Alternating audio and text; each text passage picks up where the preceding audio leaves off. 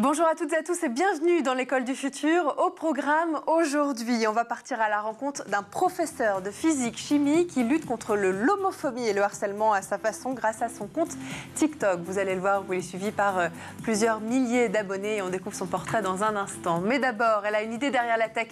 C'est Ingrid Bianchi qui est avec nous aujourd'hui. Bonjour Ingrid. Bonjour. De quoi vous allez nous parler aujourd'hui? Alors nous allons parler d'un événement qui va donner la parole aux jeunes la semaine prochaine. Et eh bien justement, les jeunes, on va continuer à en parler aussi avec notre invité du jour, puisque vous le savez, les fragilités psychologiques des étudiants en France ne datent pas d'hier. Elles ont même été pointées du doigt dès 2010 dans une étude réalisée par l'Observatoire national de la vie étudiante.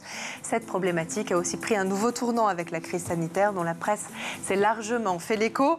Une entreprise souhaite justement faire euh, changer les choses et la tendance. On en parle avec notre invité du jour. Il est son fondateur, Guillaume Villain. Bonjour Guillaume. Bonjour. Vous êtes le fondateur de Phil, une application qui, euh, justement, vous allez nous le dire, euh, permet de, donner un petit peu de légèreté à ces étudiants. On en parle tout de suite dans la première partie du talk.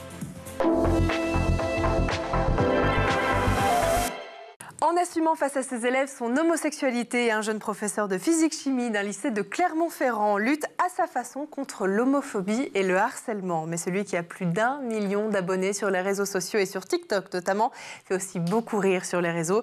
Dans ses vidéos, il n'hésite pas à se manquer gentiment de ses élèves et ses derniers en redemandent. Voici quelques exemples de ses plus grandes vidéos sur les réseaux sociaux avec Xavier Terrade. Je m'appelle Timothée, je suis professeur de physique-chimie, des secondes, des premières et terminales. Et j'enseigne aussi en première et deuxième année université. Et très actif sur les réseaux sociaux, notamment Instagram et TikTok. Quand on tape professeur influenceur dans Google, son nom est l'un des premiers qui apparaît. Et pour cause, Timothée Curado est plus connu sous le nom de Tim THC sur TikTok, où il a 1 300 000 abonnés. Sur son compte, ce professeur de physique-chimie d'un lycée de Clermont-Ferrand de 28 ans n'hésite pas à se moquer gentiment de lui-même, de ses collègues, mais aussi de ses élèves. Bonjour, excusez-moi, je trouvais pas la salle, madame. Non mais madame, m'envoyez pas en vie scolaire, ça cause la prof de français, là, elle met 30 ans à nous lâcher aussi. Euh. Pourquoi tout le monde arrivait à l'heure et pas moi? Ok, vous êtes une bande de clochards, de. Bonjour. Oh punaise, la porte est fermée, tu crois qu'elle va nous prendre là? Mais si la porte est fermée, cherche pas, frère, c'est mort. Mais pour deux minutes, elle aussi, là. Bon, allez, aujourd'hui, on va faire un travail de groupe. Euh, Sarah, tu vas aller travailler avec euh, Jules et Kevin, s'il te plaît. Pardon? C'est quoi euh, Sarah, tu vas travailler avec Jules et Kevin. Non, non, non, non. on joue pas dans la même division. Moi, je fais les 3-4 millions d'audimat. Je me mélange pas avec les clochards. Sorry, darling. Non? Attends, attends, c'est pas toi qui décide, c'est moi qui fais les groupes. Et t'as pas à les traiter de clochards déjà. Sur Instagram, Timothée Curado a près de 200 000 followers sa notoriété lui a permis de participer avec d'autres amis influenceurs à la série Dans le manoir sur YouTube, mais aussi de multiplier les partenariats avec des marques. Mais malgré ses multiples activités et sa constante envie de se renouveler, Timothée n'en oublie jamais son premier métier, professeur, un prof enseignant également à l'université et qui n'hésite pas à assumer son homosexualité au risque de faire parler, même en salle de classe. Je sens que l'année va être longue. Mais longue, mais longue. On pose souvent la question si les élèves me respectent. La réponse est oui dans la majorité des cas. Mais clairement, ce matin, il m'a pas du tout respecté. pas du tout. Et là, il me regarde et il me dit pas Bah ça va, monsieur, il vous a bien fallu deux ans pour trouver un mec. Bien sûr, tout le monde s'est mis à rigoler.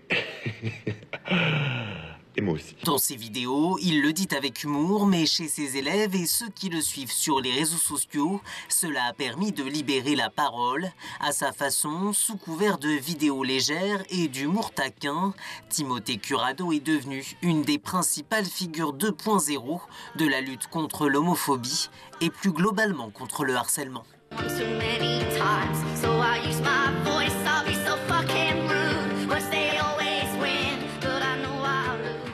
Et voilà pour euh, le portrait de ce professeur, pas comme, les autres. Je vous voyais réagir, euh, Ingrid, ça vous fait rire, ça vous étonne aussi peut-être qu'un professeur euh, prenne la parole sur ces sujets importants, effectivement, sur les réseaux sociaux? Oui, je pense que ça crée aussi une proximité avec les élèves et ça permet de dénoncer des, sujets qui sont parfois tabous Donc euh, c'est C'est vrai. c'est une autre façon d'en parler. C'est important. Et justement, d'un autre sujet euh, tabou, on va en parler dans un instant, puisque vous le savez, la réussite scolaire et l'insertion professionnelle des étudiants ont été pendant longtemps les objectifs principaux des grandes écoles et à raison.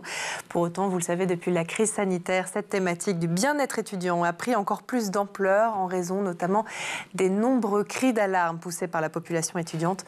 On en parle tout de suite dans la première partie du talk.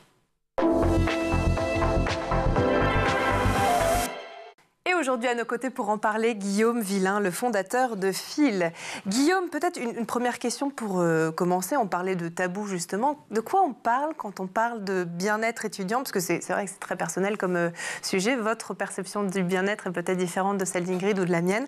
De quoi, de quoi est-ce qu'on parle? En fait, la thématique, elle est hyper large. Donc, on, on va toucher à l'alimentation, au sommeil, euh, enfin, diverses, diverses choses, en fait, qui vont... qui sont un peu euh, vues de haut, euh, enfin snobées un peu par les jeunes, alors que c'est quand même la base du bien-être. Euh, et puis après, mais c'est vraiment d'avoir une, capacité à mettre des mots sur ses émotions, à parler de ses problématiques, de, de- d'a- d'analyser en fait ce qu'on est en train de ressentir, que ça soit au niveau émotionnel, mais que ça soit au niveau besoin. Et, tout est là dans, dans Phil, c'est vraiment délier les langues, de commencer à parler, peu importe la, thématique et peu importe le, le sujet. Alors effectivement, vous, avez, euh, vous venez répondre à un besoin avec Phil. Vous avez créé cette application euh, mobile. Pour rappeler peut-être quelques chiffres, avant la crise sanitaire, il y avait 80 psychologues pour 1,7 million d'étudiants en France. Ça représentait euh, l'équivalent d'un temps plein annuel travaillé pour 29 000 étudiants. C'est pas beaucoup. L'État a annoncé récemment le doublement de cet effectif de psychologues, mais malgré cet effort, le ratio psychologue-étudiant est toujours trop faible, dix fois inférieur à celui que mettent en avant les recommandations internationales. Est-ce que c'est pour ça que vous êtes venu euh, avec cette idée de fil il y a trois ans C'est pour répondre à ce besoin d'accompagnement psychologique? Effectivement, en fait, on avait toutes les stats étaient dans le rouge. Euh, Enfin, elles, le sont malheureusement encore.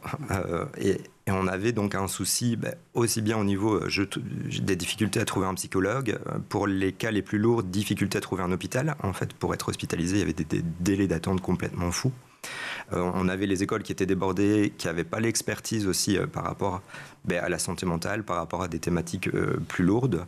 Et donc l'idée, c'était vraiment ben, de, trouver un système assez léger qui peut être mis en place rapidement, facilement, qui n'ait pas de lourdeur par rapport à, l'établissement scolaire et qui peut apporter énormément de soutien. Et donc, c'était de remettre l'entraide par les pairs en avant parce que ben, chaque élève a un vécu, chaque élève. Enfin, on mise. On, s'oriente en- souvent sur les élèves qui vont pas bien, mais en fait, il y a beaucoup d'élèves qui vont bien aussi. Il y a beaucoup d'élèves qui ont énormément d'expertise parce qu'ils ont déjà vécu une situation de harcèlement ou, ou je sais pas, de racisme, d'homophobie, etc. Et l'idée, bah, c'est de, de prendre cette force vive avec plein d'énergie et plein de dynamisme et de les mettre au service des autres.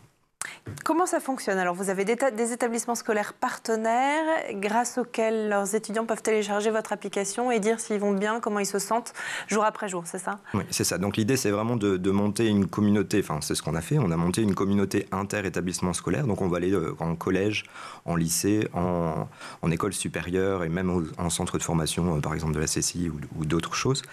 Et, l'idée, en fait, c'est vraiment bah, de mettre cette, euh, cette énergie et, ce, vécu au, service des autres. Et donc, on, on- on est en train, en fait, de même scinder pour préciser les problématiques. Donc ici, pour l'instant, avec Phil, on était vraiment bah, sur l'origine du mal-être, sur euh, l'é- l'émotionnel, sur les, les besoins.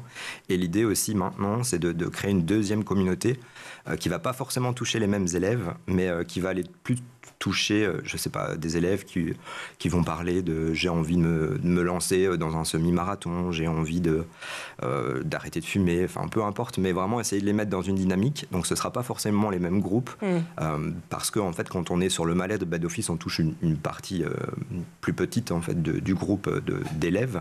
Mais là, l'idée donc c'est euh, et d'aider bah, ceux qui vont pas bien, vraiment pas bien, et de, de soulager et de motiver. Euh, Enfin, on entend souvent, ils disent on a la flemme, etc. Bah, l'idée c'est d'aller booster cela parce que bah, ils ont Enfin, c'est lié à la, période aussi euh, de, l'adolescence d'être un peu en mode flemme, mais c'est vraiment d'essayer de, bah, de se dire bah, qu'est-ce que tu as envie de faire? Ah bah tiens, tu as envie de monter un podcast, bah, vas-y, go. euh, et on, fait un petit groupe d'élèves qui va dynamiser en fait euh, bah, l'objectif, enfin fixer son objectif et puis essayer de les booster à, suivre cet objectif, à décomposer en, en petites tâches parce que parfois ça paraît insurmontable de se lancer dans, dans un projet, mais euh, voilà. Donc vous diriez que c'est de plus en plus facile pour ces jeunes justement de, prendre la parole. On parlait des réseaux sociaux avec l'objet de notre focus et Ingrid, vous en avez très bien parlé tout à l'heure. Les réseaux sociaux permettent aussi des, témoignages sur des sujets parfois difficiles, complexes, tabous. On l'a vu notamment avec des jeunes euh, sportifs comme Naomi Osaka ou euh, Simone Biles qui parlent de leur état mental aussi. Est-ce que ça, ces prises de parole, ces rôles modèles pour les jeunes, ça les aide justement à, à parler de leur mal-être? Oui, en fait, la, santé mentale, reste un, tabou, enfin, comme le harcèlement, comme la solitude. Hein, et l'idée, enfin, le, nous, c'était vraiment de remettre ça en avant et clairement, bah, tous ces témoignages, toutes les stars qui vont en parler, bah, va favoriser ça, va vulgariser aussi cette santé mentale parce que bah, tout le monde va avoir un jour ou l'autre des, problèmes et on le voit sur fil. Hein. On, en a certains, bon, ça va être un problème, je sais pas, ils ont un problème financier plutôt parce que la voiture est en panne, d'autres ça va être une rupture sentimentale, d'autres c'est vraiment un problème de santé mentale parce qu'ils sont dans un trouble anxieux enfin, qui, devient assez problématique. Mais l'idée c'est vraiment d'aider euh, tous ces jeunes, peu importe la thématique. Ingrid, je me tourne vers vous maintenant parce que ces jeunes, vous les connaissez bien aussi. Ce sera l'objet de, de, votre chronique dans un instant. Mais d'abord, quand ils prennent cette parole, quand ils la prennent, parce que c'est sans doute plus facile aussi de le faire de manière anonyme, mais quand ils en parlent de leur état euh, de santé mentale, qu'est-ce qu'ils vous, disent? Quel est votre point de vue sur euh, cette euh, santé des jeunes aujourd'hui? Je pense qu'aujourd'hui, les jeunes sont plus conscients de leur état de santé euh, et de leur fragilité. En fait, ils l'avouent peut-être plus, euh, euh, plus précisément par une forme de conscience euh, qu'il n'y avait peut-être pas à une autre époque. Et, et donc, sont très soucieux, justement, peut-être fragilisés aussi par un contexte qui, euh, qui, peut être aussi assez anxiogène actuellement. Hein. Donc, euh, ils, sont, on, on, ils, expriment en fait un besoin d'être plutôt euh, accompagnés et, et sécurisés notamment. 43% des, étudiants se disent concernés par des symptômes de dépression quand même. Hein. C'est une enquête prisme. Qu'est-ce qui affecte, Guillaume, le plus la santé mentale des étudiants euh, Ingrid en, parlait? Est-ce que c'est aussi l'équilibre euh, vie étudiante, vie personnelle, un environnement familial et amical sur lequel on peut savoir compter, les conditions d'études aussi? Dites-nous tout. En fait, la, la, les problématiques, elles sont vraiment diverses. Euh, ça va dépendre aussi de l'étape de vie. Donc, euh, par exemple, on part à la fac, on change de ville, on perd ses repères, on perd ses amis, on est un peu loin de sa famille. Bah, D'office, on est dans une situation un peu plus euh, difficile et, et, du coup, il faut le temps de, de, de, de, retomber sur ses pattes, on va dire. Donc, et si on revient plutôt sur la partie collège, bah, le, le, le, fait d'arriver au collège, on, on, assimile souvent au harcèlement voilà, donc il y, a, différentes phases et différentes problématiques. L'encadrement, le, qu'il soit pédagogique, familial, euh, amical, toutes les relations sont hyper importantes et parfois elles sont dégradées, euh, que ça soit euh, en lien amical. Enfin, on, a des jeunes qui sont vraiment dans un état de solitude hyper profond et là on a un vrai, un vrai souci parce qu'ils ne savent pas se confier et c'est ceux-là qu'on essaye de toucher hein, parce que souvent ces jeunes-là vont pas aller en parler à l'école, vont pas en parler à leurs parents, ils vont même pas en parler à leurs amis. D'ailleurs ils disent on, on, met le masque, on sourit alors que ça va pas. Et, et donc c'est vraiment de faire parler ces élèves-là. Et oui, une fois qu'on a, on a vraiment un entourage familial qui est présent, euh, que l'école suit derrière, bon, ben là, on n'a pas de souci et, et, ça se passe plutôt bien. Il faut vraiment aller toucher les jeunes qui ont des problèmes de. Enfin, selon nous, euh, le, le, ceux qui sont isolés, qui ont un problème de solitude, c'est vraiment une grosse problématique et il faut vraiment délier les langues parce qu'il y a tout le temps de l'aide, euh, il y a tout le temps des mains qui sont tendues, mais il faut leur montrer. Et ça change tout, et c'est ce que vous faites. On va continuer à en parler dans un instant et évoquer ce sujet de la santé mentale des jeunes. D'abord, on va faire un tour du côté de la planète tech. Image, vidéo, c'est le zap et c'est l'œil d'Edouard Degnaud. 5:56 p.m. Flower. Tree. Tree. Flower. Flower. Chair. Flower. Chair. Coffee table. Coffee table table.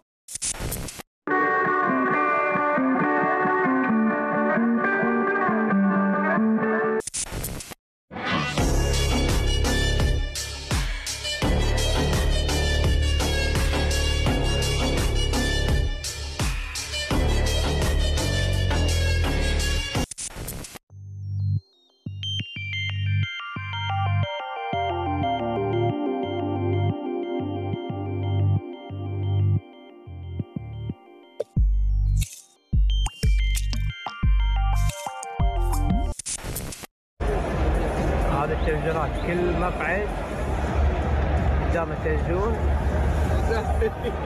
ويتابع التلفزيون. هذه المدرجات.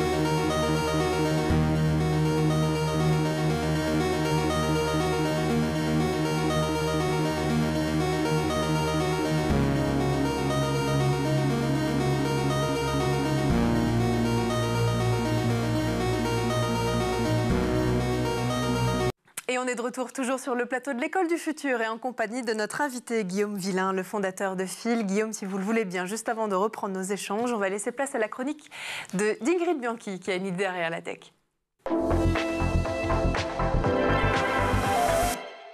Le 14 décembre prochain marquera un moment crucial au sein du CESE, le Conseil économique, social et environnemental, avec la tenue du Parlement des jeunes dont vous allez nous parler aujourd'hui, sous le thème évocateur Fragilité et rêve d'une génération. C'est quand même tout à fait en lien avec notre émission.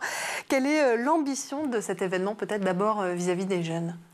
En fait, il s'agit de donner la voix, euh, enfin de, porter la voix des jeunes en leur donnant la parole, justement pour qu'ils puissent s'exprimer sur euh, à la fois les sujets qui les, préoccupent, mais aussi les interroger euh, sur leurs attentes par rapport à, la France de demain, hein, à, leur avenir. Alors, le 14 décembre, ce sera le point de restitution des travaux qui auront eu lieu et qui sont encore en cours hein, aujourd'hui et qui vont permettre d'avoir des, moments d'échange, de partage entre différents jeunes, justement sur, euh, sur différents sujets et, et les enjeux clés de, de cette génération. Quels sont les profils justement de ces jeunes dont vous nous parlez euh, qui, qui sont ces jeunes qui participent à ce Parlement? Alors tous les jeunes qui sont là sont volontaires. hein. Il y a eu un peu plus de 350 candidatures et euh, l'organisation du Parlement des jeunes a souhaité constituer un panel qui soit représentatif à la fois de tous les territoires, mais aussi de tous les âges, de toutes les tranches d'âge. On a par exemple 40% de mineurs qui participent à ces échanges. Et euh, qu'est-ce qui ressort de ces réflexions? Vous nous le disiez, ça va être présenté euh, le 14 décembre prochain, mais en matière notamment d'éducation, c'est l'objet de notre euh, émission, à travers les témoignages de ces jeunes justement. Alors, il y a plusieurs problématiques majeures qui sont ressorties, hein, mais une, euh, une cruciale, c'est euh, l'anxiété euh, et le Oui. stress, l'anxiété scolaire, euh, qui est effectivement multifactorielle, hein, qui peut venir à la fois donc euh, d'une surcharge de travail. Les jeunes se plaignent notamment d'une difficulté à concilier la vie personnelle et l'apprentissage, avec des, des horaires de travail et des méthodes aussi qui, qui vont impacter leur équilibre. Ils parlent également évidemment de- d'expériences de, harcèlement qui vont générer du stress. Et puis il y a la notion de pression, la pression scolaire, pression de la réussite, euh, qui va aussi impacter euh, euh, leur, confiance en eux et leur capacité à se projeter. Et donc ils ont tendance à, vouloir en fait être davantage accompagnés, notamment sur cette phase d'orientation scolaire qui justement représente une source de stress alors qu'elle correspondrait plutôt à une, réflexion autour de son avenir. Euh, et puis, ils souhaitent aussi avoir un allègement hein, et, et une plus grande flexibilité justement sur, euh, sur les horaires de travail. Alors ces jeunes, ils semblent aussi sensibles aux questions sociétales et notamment à l'égalité des chances. Quels sont euh, les sujets qui préoccupent cette génération? Alors, il y a deux types de sujets euh, qui les préoccupent, hein, euh, parce qu'ils sont très sensibles aux questions sociétales. La question des inégalités socio-économiques. Ils sont euh, tout à fait conscients qu'il y a des disparités dans l'accès à l'enseignement supérieur. Euh, et ils le vivent comme une forme d'injustice en fait. Euh, malgré tous les efforts qui peuvent être faits par le gouvernement, ils connaissent par exemple les cordées de la réussite, mais pour autant ils jugent ces efforts encore insuffisants. Et puis il y a la notion de fracture territoriale qui fait qu'effectivement un, un, jeune qui vit à la campagne aura plus de difficultés, que ce soit au niveau financier, mais même en termes logistiques, hein, pour pouvoir suivre des études. Et donc il y a un sentiment d'abandon chez les jeunes qui vivent dans les zones rurales, mais aussi dans euh, les quartiers euh, populaires, euh, parce qu'ils ont l'impression d'être un peu laissés sur le, le, bord de route. Alors, vous parlez d'abandon, la société, justement, comment ces jeunes voient-ils la société qui les entoure? Quel regard portent-ils sur elle? C'est un regard plutôt critique hein, vis-à-vis de la société, parce qu'ils estiment qu'il y a un manque de reconnaissance et de, de respect hein, de leurs droits. les témoignages qui ont cours ont, ont permis de, de, dénoncer une réalité sombre hein, sur les euh, maltraitances et les, les, violences intrafamiliales. Les jeunes estiment que, le, euh, que les enfants ne sont pas protégés ou insuffisamment protégés et qu'il y a même une indifférence de la société qui aurait tendance à fermer les yeux. Euh, et, et, donc pour les jeunes, c'est aussi une forme de combat euh, assez complexe pour pouvoir être entendu et être cru, mmh, effectivement. Et donc ils réclament une, une, prise de conscience collective sur ce sujet. Alors ce Parlement, ce Parlement justement leur donne la parole pour qu'ils qu expriment leur propre vision de la France dans 10 ans. Face à ces constats, quelles sont euh, leurs attentes, les attentes exprimées dans le cadre de, ce Parlement? Alors, au-delà de ces, constats euh, parfois difficiles, euh, on peut constater qu'il y a une vision très ambitieuse hein, de la part des jeunes qui souhaitent véritablement constituer co-construire aussi une société beaucoup plus inclusive, beaucoup plus ouverte et équitable. Euh, et ils vont, euh, ils vont, euh, ça, passe par une transformation profonde hein, de la, du système éducatif, évidemment, avec en, point central l'épanouissement personnel des, élèves et, une plus grande flexibilité. Ils parlent d'une protection de leur santé mentale et physique, hein, vous en avez parlé tout à l'heure, avec donc un, un allègement des emplois du temps, un meilleur équilibre aussi entre la pratique et la théorie qui doit pouvoir aussi leur permettre d'être mieux préparés à la, vie professionnelle. Euh, ils souhaitent par exemple qu'il y ait une prise en compte de différents types d'apprentissage avec euh, une, une, valorisation notamment des activités extrascolaires. Euh, on parle du sport, de, des activités aussi culturelles euh, et artistiques. Euh, et puis ils souhaitent également que la sécurité et le respect des élèves soient au cœur du système éducatif en prenant euh, une revalorisation des enseignants et notamment une plus grande sensibilisation euh, des enseignants qui vont pouvoir les accompagner euh, avec, autour des sujets qui les préoccupent, évidemment la santé, l'orientation et puis les questions liées au harcèlement. Alors c'est important, effectivement, vous nous parlez de ces sujets qui préoccupent les jeunes, il y en a un autre, c'est l'inclusion à l'école. Quelles sont leurs attentes sur ce sujet spécifiquement? En fait, ils attendent de l'éducation que ce soit un levier d'égalité euh, sociale et, euh, et, que l'éducation puisse aussi offrir un accès équitable à, aux études à l'ensemble des établissements d'enseignement supérieur. Ils attendent notamment que les établissements euh, publics mais privés puissent aussi élargir leurs leur conditions d'accès, euh, notamment en basant les, critères d'accès, les critères d'admission, non pas sur le, milieu d'origine sociale ou, ou, ou géographique, mais plutôt sur le mérite. Et puis, euh, ils estiment également que la phase d'orientation scolaire doit être mieux préparée, mieux organisée. Ils veulent, ils veulent d'ailleurs être plus autonomes dans la construction de leur parcours et, euh, et, permettre aux stages en entreprise euh, et qui, qui vont d'ailleurs euh, être plus en amont hein, au niveau du lycée, que ces stages soient plus motivants, qu'ils puissent permettre aussi d'alterner la théorie et la pratique. Tout ça pour assurer en fait une connexion assez solide entre justement euh, le monde scolaire, le monde académique et la future insertion dans la vie professionnelle. Et on en parle effectivement puisqu'il y a aussi la connexion avec la vie de la société. Comment ces jeunes-là comptent-ils y participer à la société? Alors cette vision ambitieuse, ils veulent la construire, c'est-à-dire qu'ils veulent y participer, ils veulent contribuer en étant euh, d'ailleurs euh, plus considérés, plus écoutés, plus entendus et en même temps inclus dans les décisions. C'est-à-dire qu'ils estiment euh, qu'à partir du moment où ils vont avoir à, assumer hein, des décisions qui sont prises, qui les concernent, ils souhaitent pouvoir introduire les centres de décision et pouvoir s'impliquer. C'est à la fois une génération qui est consciente des défis qui les concernent, qui semblent assez matures hein, sur, euh, euh, par rapport à ce qu'ils vivent et par rapport à leurs défis, et en même temps euh, sont très exigeants et très ambitieux sur une, une société dans dix ans qu'ils estiment devoir être plus équitable, plus inclusive, et qui permettent de donner sa chance à, tous les jeunes. Donc reste à savoir le 14 décembre au, Conseil économique et social comment ces propositions vont être entendues et comment on pourra y répondre. Rendez-vous donc le 14 décembre au CESE, Conseil économique, social et environnemental. Merci beaucoup en tout cas Ingrid pour cette belle initiative. Et puis ben, nous on continue à parler justement de ce même sujet du bien-être étudiant qui en fait le lien dans la deuxième partie du talk. Vous le savez, après la pandémie de Covid, de nombreux jeunes sont toujours en situation de détresse psychologique. Prise en charge, prévention, les associations et institutions tentent de faire baisser les chiffres. Des entreprises aussi, et parmi elles, Phil, et on continue d'en parler avec son fondateur, Guillaume Villain. Je voulais vous poser une, autre question, parce qu'on en parlait effectivement euh, avec Ingrid dans sa chronique sur le Parlement des jeunes. Ce qui est difficile aussi dans cette génération, c'est l'âge. Entre 16 et 25 ans, on est en train de se construire, on apprend à se connaître aussi, on vit des déceptions, on travaille dur pour les examens, on a des échéances souvent importantes, du stress. Est-ce qu'on a vraiment le temps et l'énergie à cet âge-là de prendre soin de soi? Est-ce que c'est considéré comme une priorité tout simplement par les étudiants? Hmm, en, fait, ça va dépendre de, de, l'étudiant ou de, de l'élève.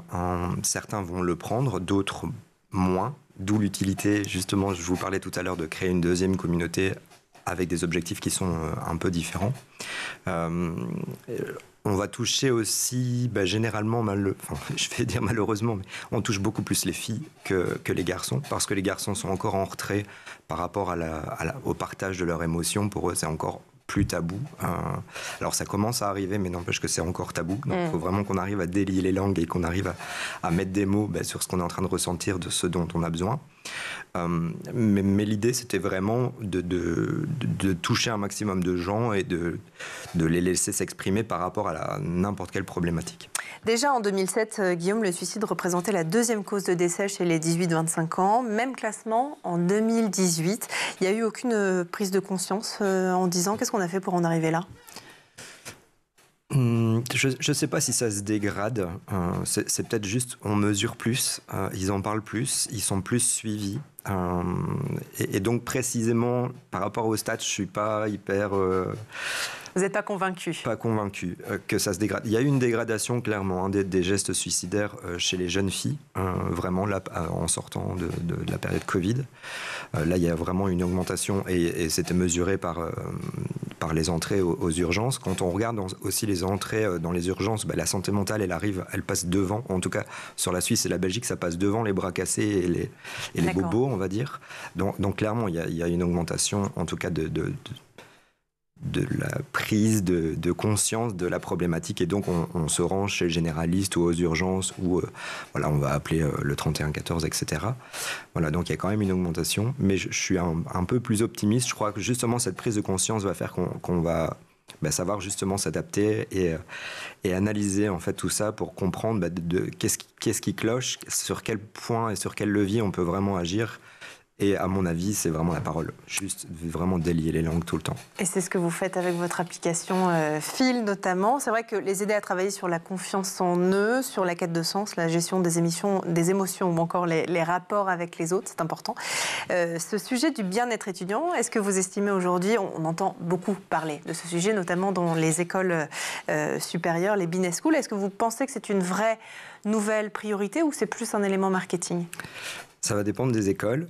Il euh, y, a des écoles qui vont, enfin, qui sont encore en mode on, met sous le paillasson en espérant que, que, l'histoire se passe. Et, euh, sauf que souvent ça va pas passer. Au contraire, ça va prendre des proportions qui sont parfois démesurées et puis ça finit. Euh, Parce que c'est un sujet qu'il faut prendre au sérieux.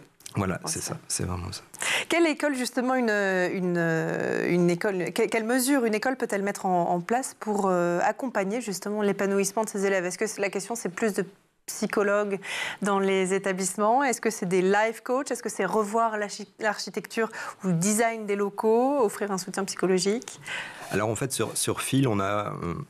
Euh, on a en fait quatre questionnaires, plutôt trois, qui vont vraiment être par rapport au, climat général, hein, donc les locaux, la charge de travail, la pression, etc. Une autre qui est vraiment liée au harcèlement, qui, est liée à l'établissement, hein, que ce soit online ou que ce soit dans les locaux. Et un troisième euh, questionnaire euh, très court qui va poser des questions justement par rapport à est-ce que tu arrives à mettre des mots sur tes émotions, est-ce que tu en parles aux autres, etc. Et donc là, c'est plutôt personnel. Et puis on fait une moyenne et on a une cote euh, sur 10 qui donne une visibilité qui donne en fait, ben, on essaye de rendre l'invisible visible pour donner des indicateurs à l'école sur euh, quels leviers ils doivent agir, que ce soit les locaux, que ce soit la charge, euh, que ce soit la charge de travail, etc. Pour vraiment avoir des indicateurs parce que ben, ça va être différent d'une école à l'autre. Donc ça c'est la première. Euh, au niveau en fait des jeunes, qu'est-ce qui peut réellement les aider? Je pense que déjà vraiment on sous-estimait l'aide qu'il y a déjà avec les jeunes dans l'école. Et donc ça, il faut vraiment le remettre en avant parce que on parle toujours des coûts, on n'a pas le budget supplémentaire, etc. Ben, il n'en faut pas énormément il en faut parce que ben, on, a besoin, ben, notamment pour Phil. Mais, mais l'idée, c'est pas de, ressortir une enveloppe de je sais pas combien de millions. C'est juste de, comprendre ben, avec le budget euh, avec lequel on, dispose là maintenant, qu'est-ce qu'on peut faire et vraiment remettre cette aide des jeunes. Je pense que c'est une bonne solution. Remettre des psychologues, euh, clairement, ce serait essentiel aussi. Euh, donc, dans, si c'était possible, clairement. mais voilà, il faut faire avec les moyens dont on dispose. Et là, actuellement, c'est vraiment essayer d'avancer le plus rapidement possible avec, euh, avec les jeunes pour, euh, bah, pour, pour les aider. Ouais, c'est ça. Quoi. On rappelle le numéro d'urgence si jamais euh, un étudiant, un élève qui nous écoute a besoin d'appeler, d'avoir de l'aide. Vous le disiez que c'était le 31 14. Voilà partager ses doutes, ses réussites et ses questions, exprimer ses émotions du moment, vous le savez, tout en conservant évidemment euh, euh, ses humeurs, sa bonne humeur, on l'espère en tout cas au fil du temps et contribuer surtout au bien-être des étudiants grâce au pouvoir du numérique. Voilà en partie ce que vous faites chez Phil. Merci encore mille fois d'être venu sur le plateau. Guillaume Villain, vous êtes le fondateur de cette application Phil. On invite évidemment les étudiants à la télécharger s'ils en ont besoin. Merci aussi à notre chroniqueuse Ingrid Bianchi d'avoir été avec nous. Merci à vous. Merci à vous de nous avoir suivis et puis nous on se retrouve dès demain dans l'école du futur. Bonne journée.